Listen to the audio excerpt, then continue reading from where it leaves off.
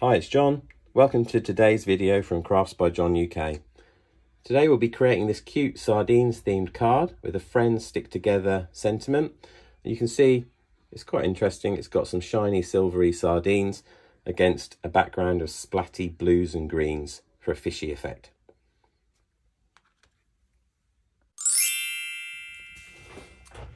For today's project, we're going to be playing with this lovely cute sardine stamp, which I got very cheaply from AliExpress. It's quite cute. It's just a little tin with three sardines in it and a few little nice sentiments. Glad we're tight, friends stick together and catch you later. So what I'm going to do first of all is make an interesting background. To do this, I'm going to take a piece of general white cardstock.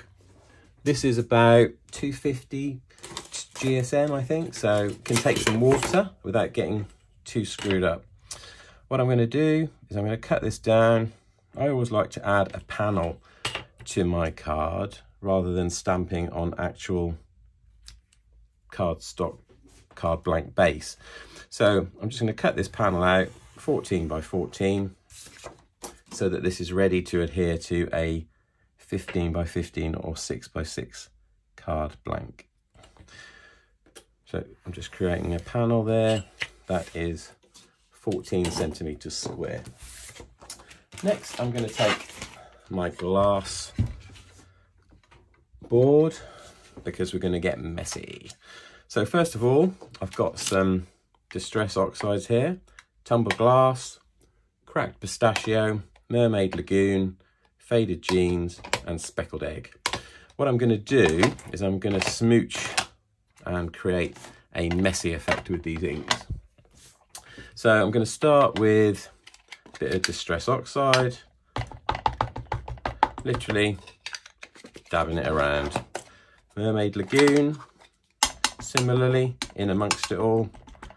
And again, you don't need to create a huge area here because you're only going to be working with a piece of card this size. There's no point wasting a whole load of ink on an area that you're actually not going to use. So actually, I've just used those three, Cracked Pistachio, Mermaid Lagoon, and Faded Jeans. I'm looking at that thinking I've got enough colour. I'm going to take my little mini mister, which is super cute, which is filled with normal water, and I'm just going to give that a little spray. Now, because the ink pads are square, you end up with everything in a square shape, which we don't really want. So I often use my finger just to mix stuff together. What you'll see is lots of blobs, but then if you mist it again, you'll find that those blobs will melt out and you end up with a more random pattern. You can also swirl some of it together. Basically, get a bit messy. Always have to hand a piece of kitchen towel. Give it one more spray. And now we're ready to actually put our card into it. So center your card pretty much so you've got coverage everywhere. Put it down. This first pass will be very wet, but will give you instant, interesting colour. What we're going to do now is use the pieces we've got left. So I'm going to dry this with my heat tool, which is a standard Dovecraft one. Slightly off screen. I'm just going to give that a bit of a dry.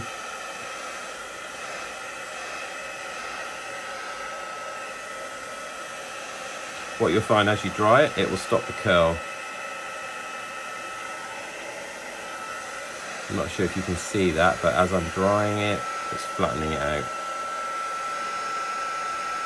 You can use whatever paper you want for this, watercolour paper, any basically.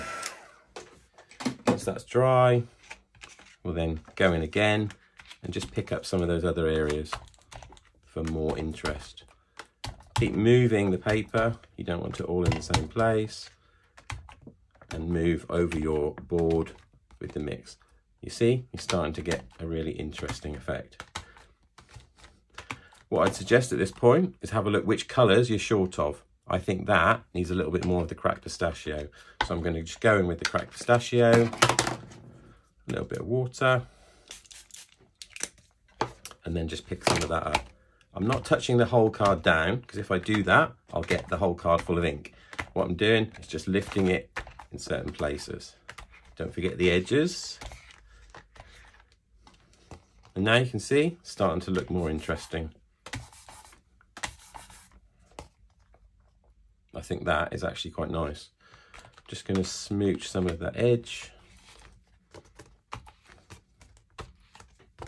Don't be afraid of this.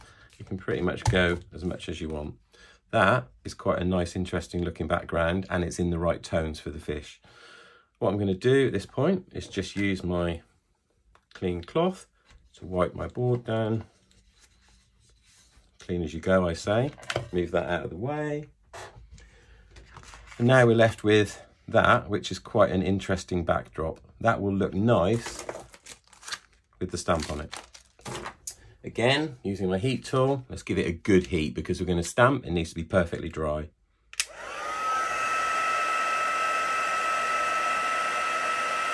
I'm heating from the middle out. I usually start in the middle and work my way out. Always heat both sides. That also helps with the curl. As you see, you're heating it, it's curling up like a flower. As you go around, that curl will become more pronounced. Don't worry about that though, it will flatten out. Systematically up and down, up and down. There we go, we have a beautiful blue lotus flower at this stage.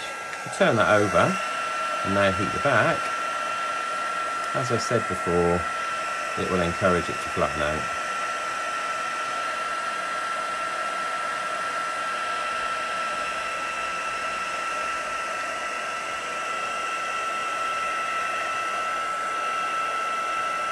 Use your hands, don't be afraid to add your hand heat.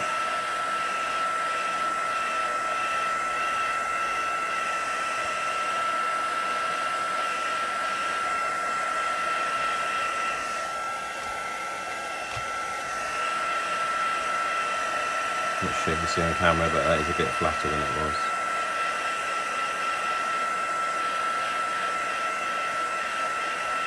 Right, that should be relatively dry now.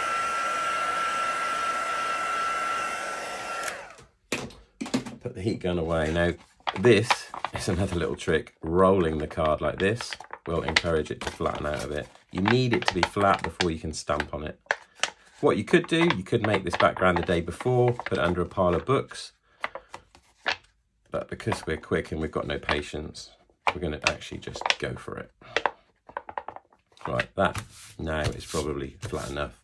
At this point, what I'll do is use my little anti-static pad give it a good rub over. This will also help dry any areas that aren't completely set yet, but also it creates a good base for us to stamp. Keep your little anti-static pad in a little Tupperware container. Give it a blow. Now, I'm going to use my Tim Holtz stamping platform, which is always great. Check before you start that you're on the clear side and we'll fix that in place. I always have a piece of paper behind because I just think it adds a little bit more depth. It lifts the paper up that you're stamping, basically stops any problems. I'm taking this stamp set. As I said, I got this from AliExpress, so it was a very cheap stamp set, but it's super cute. And I quite like to offset things. I know people, a lot of people put everything in the middle and it's very regular. I am a little bit quirky and I like stuff slightly off center. So I'm going to go here with that stamp set. And then the sentiment I'm going to use today is friends stick together because I think that is super cute.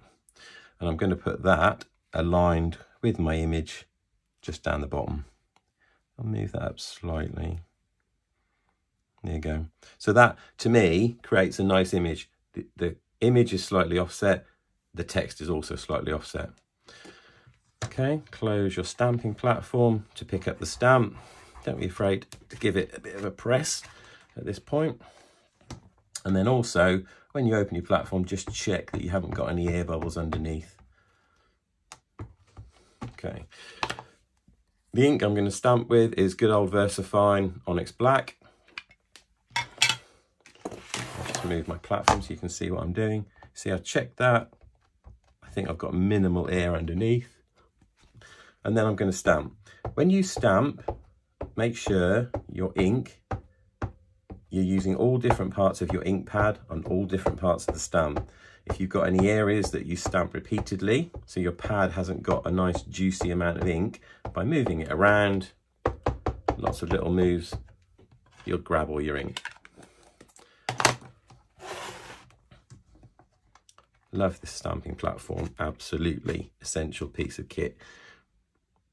Give it a good press and also just wait a minute as well to let the ink sink into that paper. That paper's been very wet, should be quite receptive to ink, but always good to just give it a moment or two to settle.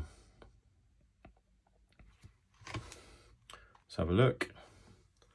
What a beautiful image. This could be a little bit better, so I'm actually just going to re-ink the sentiment Actually, I might as well just do the whole thing again quickly.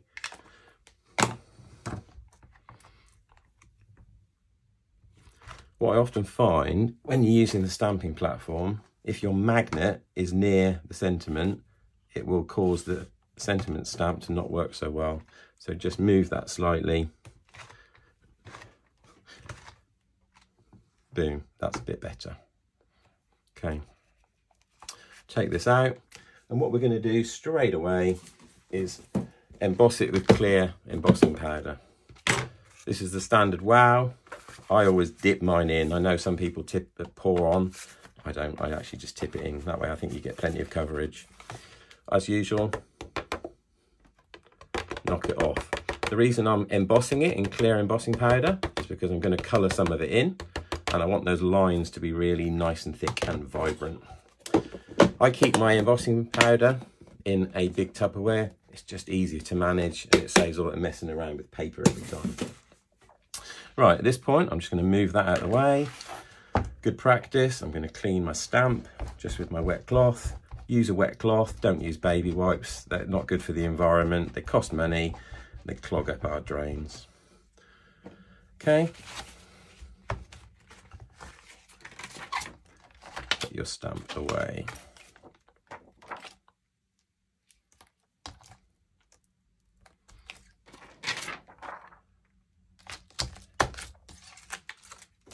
Right, done with the stamping platform for the moment. Let's put that away. What we're going to do now is bring in the heat tool and heat this until we get that magic when the embossing powder does its work, brings that black up so it's super vibrant.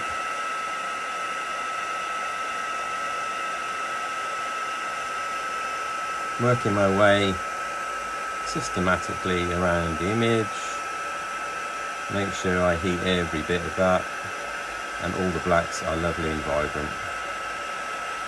Into the middle. Not too worried about the fish because we're actually going to cover them up. I'll explain that in a moment. Friends stick together. Always emboss the back as well, just to make sure you haven't missed anything.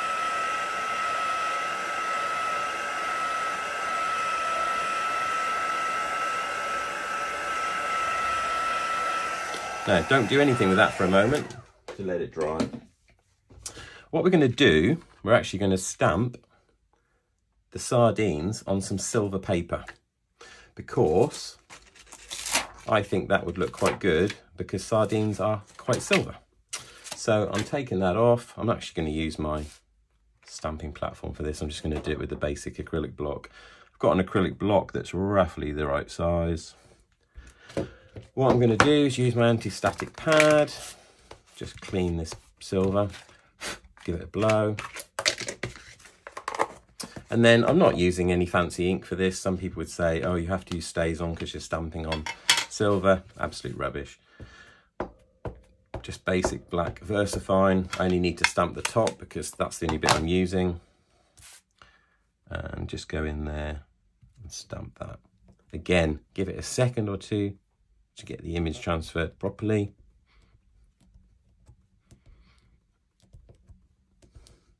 Now, this ink will move if you rub it because it's not StazOn. However, I'm going to show you a little trick. Cleaning my stamp, putting my stamp away. Look at all these good practices I'm teaching you. What I'm going to do now is I'm going to emboss this with black emboss. So I've got a little tub here of black primary ebony regular. This isn't even the super fine stuff. Just going to cover that. Cut that off. Now, because it's a normal embossed powder, you will get a few odd grains. It doesn't matter with this kind of image. Put your embossed powder back in its tub. Wastage. And put that away so we don't knock it over. Now, we're going to heat this. Paying particular attention to the fish because that's the bit we want. This will stay wet on here a little bit longer because it's mirroring paper. We just need to allow it to dry properly. So we're doing this at this stage, so it's got plenty of time to dry while we do other stuff. What I should do is cut them out, mount them on. It will also add to the 3D effect of the card when finished. Give it a little heat on the back. I think you can just see how nice and shiny and glossy that now looks. Set that aside for the moment. Bring back your main image. Give the disc a wipe as usual. And then I'm going to colour this with some pro markers, I think. So I've got my colouring stuff here. And what I'm going to do is pick out some greys because I think the tin would be grey. So I'm going to pick out my, I think, cold grey 4, cold grey 3. Um, always grab a blender when you do any colouring. I'm thinking the inside of the tin is going to be dark, so we get a nice contrast with the silver. The inside lining of the tin would be a lighter, a lighter grey. And then I think I'm going to echo the tones here of, of the blues and greens in the actual tub with maybe a sky blue and maybe a leaf green. Actually, now I'm changing my mind. I'm going to go for mint green. So I'm only going to use five colours. So first of all, I'm going to do the dark inside. I think I want that a mid grey. So I'm going to go with cool grey 3. And literally, you're just working your way around here. As you can see, this is on top of already coloured. So it's going to retain a little bit of the random nature of that background. But we're just colouring. You don't have to be too precise here. Remember, we're going to cover these fish up. The only bit you need to be careful of is the outer edge. I'm colouring quite quickly, quite randomly. Now, in real life, these darker bits in the middle here would be full of shadow. So what I'm going to do, take my cool grey 4, just go around the edge a little bit, and then blend that in. Go back with the lighter colour and use the lighter colour over the dark and it will create a bit of a blend.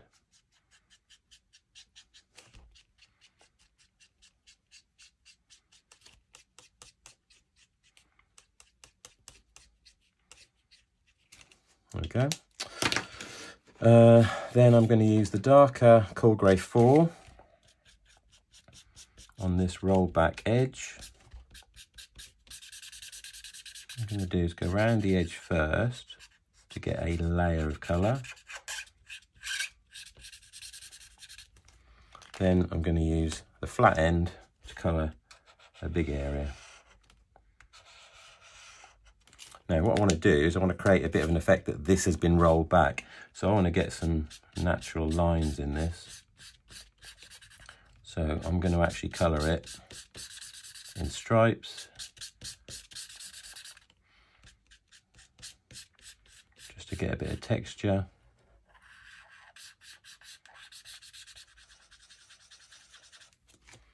And then simply go over it with my blender. Just to ease out those edges a little bit. Hope you can see I'm getting some quite nice stripes in there, particularly at that top edge. See that? And then for the bottom, we're going to colour this, I think, in a mint green. No, actually, yes, it is mint green. Yeah, it is.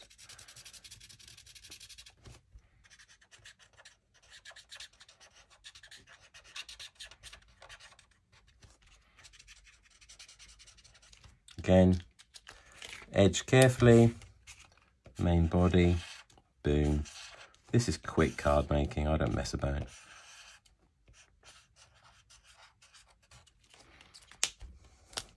Again, going over those edges just to get a bit of colour. Remember, because we embossed this, no run. With stamped images, always follow the line. You'll find once that ink dries and settles down, you've then got a little bit more tone around your stamped lines. Any areas where you see a hard edge from your colouring, just go over it again. The nature of this stamp and the rather flecky quality of it lends itself to this anyway. I'm going to go in on these edges with blue and this blue is a bit dried up actually. I think we're going to change that for another colour. What have we got in the tub? Let's have a look. Duck egg, that could be a bit light, I think. What about this one? That looks a better colour. This is cyan. Yeah, that's much better. These pens don't last forever, but they are damn good. I love Pro Markers. I do most of my colouring in either Pro Markers or Arteza.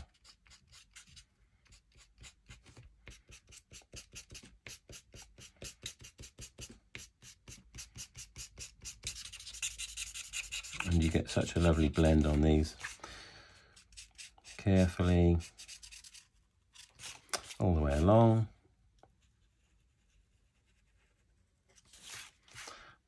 All the way around the top.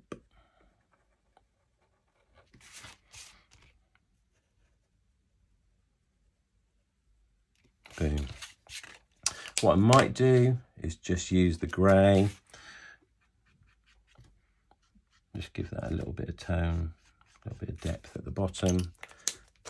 And again, then you go back in with the same colour and just blend that slightly.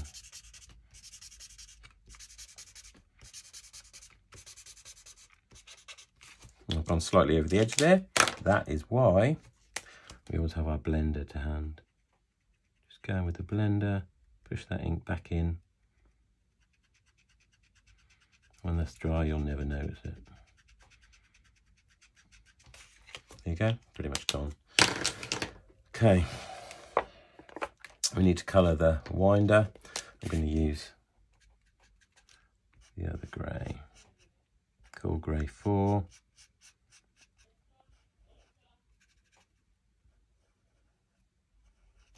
There we go, quickly coloured. Right, now I'm going to deal with this. So I've got my silver stamped image. This is going to sit on top, so I need to be on the inside of the lines. So I'm going to cut this, and I'm going to cut it pretty much halfway through the black line. So I can then put that over the top of the other line, create a seamless join. I hate fussy cutting. Anybody that knows me will know that I hate fussy cutting. But it's an essential part of card making, so you have to get over it always cut, I think, away from you. When you get an image like this that's got multiple little points, cut it down so that you're not managing a whole load of offcut in your hand. Like that. So go in here.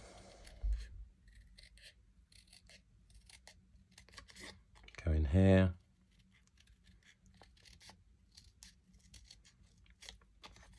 And then this way, always following the line. Cut into that corner until you can pull that cleanly out. Always check your corner just to make sure there's no leftovers. That one's cut, that one just needs it.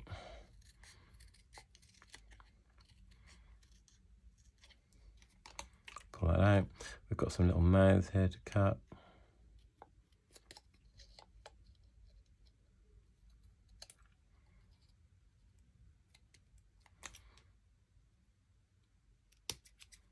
Boom. You can use the end. The only thing I find with the end, you do sometimes get a little bit of a blunt cut.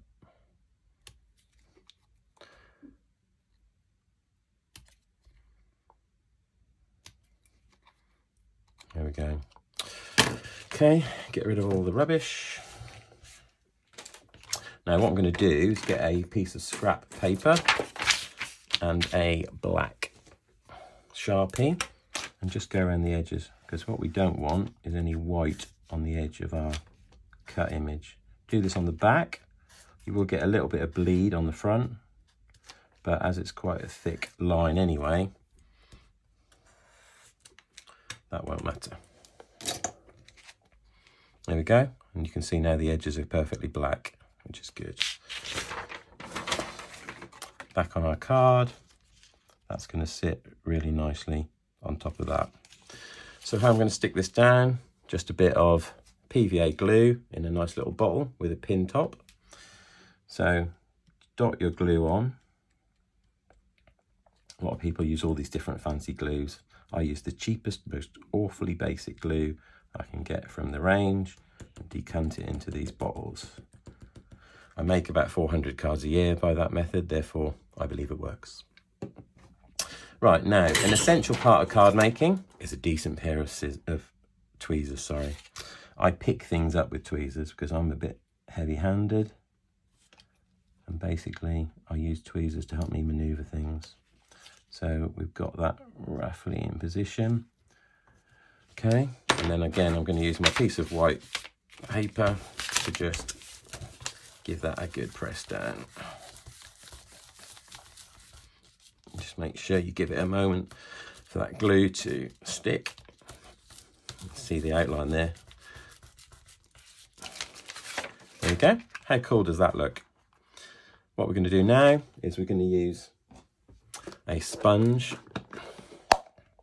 I keep a pot with all my sponges in, keeps them slightly juicy. And what we're going to do is pick out one of the colours we've used. So I think Mermaid Lagoon, this is Distress Oxide. Pick a sponge that's got vaguely the right colour on it.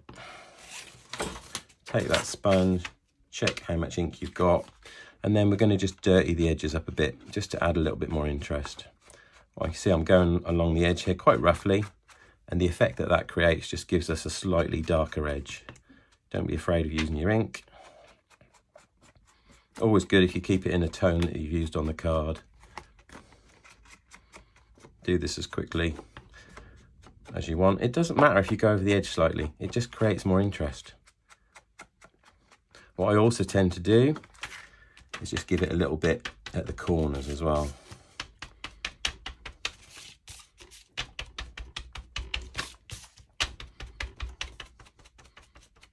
There you go.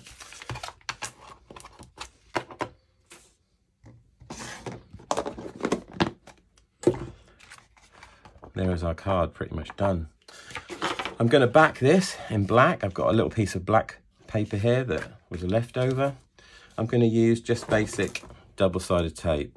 So double-sided tape into the corners. I will go all the way along on this because this card and paper is quite bent as you can see. It needs plenty to hold it down and encourage it to straighten.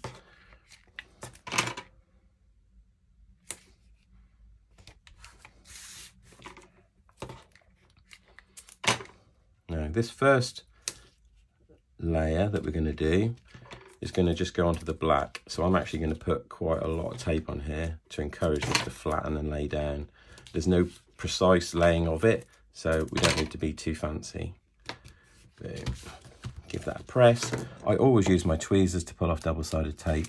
I see people doing it on other videos, fanning around with their nails, trying for ages to get the tape off. I tend to do it quickly.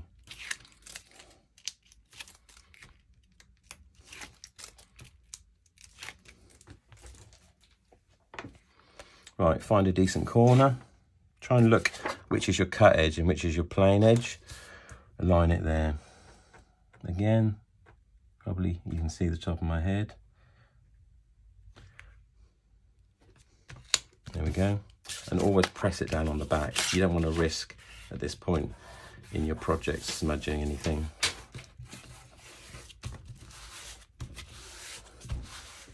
That will encourage it with a bit more weight.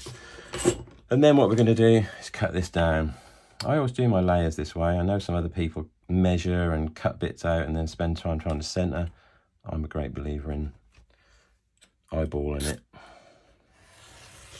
Boom. And always work with the a piece that's decent that you can get some purchase on.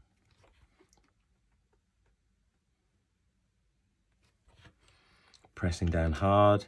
Do a light cut because you've not got a lot of paper under the ruler. Then do a heavy cut. There we go. And then I'm going to stick this onto a six inch square card blank. Line that up. And then I always use a bone folder just to get a nice precise fold. Check it on the back, make sure it's in the right place. That's going to sit on there nicely. So again, double-sided tape. And I will show you a trick that I learned from the wonderful Natasha Foote, who has a great YouTube channel and a lot of followers and offers really great card making advice. If you're a newbie, you're looking for lots of useful tips, Natasha Foote is your woman. She's a Kiwi from New Zealand, I believe, and she posts videos two or three times a week, which are absolutely brilliant. I'll put a link in the comments if I remember. So all four edges, and then you only really need one piece in the middle. Now, this time, this is the trick. Fold down ears. What this will do, this will allow you to lay your base with a little bit of wiggle room so that you can get it dead center. Put your card down, make sure it's opening the right way. Just have a look at it, make sure you've not got any dirty marks or anything. so, lay it down gently on your tape so it's risen and then just line it up by eye. Start with one edge and then the other. Look at the gap top and bottom. That looks roughly right to me. Press down in the middle, pull the tape off, go along with your finger. Pull the tape off, go along with your finger. Pull the tape off, go along with your finger. Pull the tape off, go along with your finger. Now, take your bone folder and gently go along there and on the black. On the colour, on the black. What this does, it presses down any cut edges and just creates a more professional finish. I can also see one other little problem here. We've got a little stray bit of black from where we cut. And what you can do is usually just poke that under. There we go. There's today's finished project. I'll just put that on a piece of white paper so you can see. And you can see the lovely effect that the silver gives us against the green. That's a really nice card made in about, what, 35 minutes? Anyway, if you like that and you enjoyed it and you like my style, please check my YouTube channel, like and subscribe, and I'll be posting other videos. Thank you very much.